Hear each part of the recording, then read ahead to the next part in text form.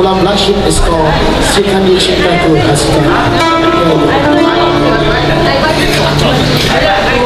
Hasika.